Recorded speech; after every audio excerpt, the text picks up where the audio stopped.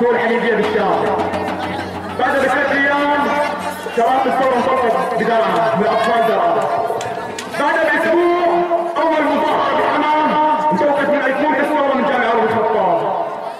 نحن كرمال الشباب اللي طلعوا الانتحاريين هذول نسميهم اللي طلعوا من جامع عمر الخطاب. وكرمال النساء اللي طلعوا الحليبيه بالشام. وكرمال أطفال